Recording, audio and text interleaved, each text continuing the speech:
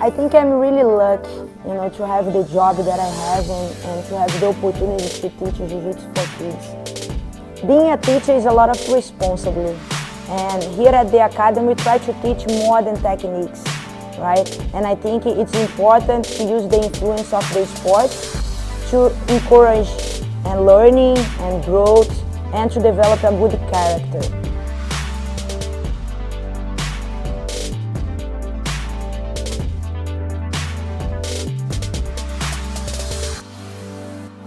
We want them to become strong, confident, and ready for everything in their life.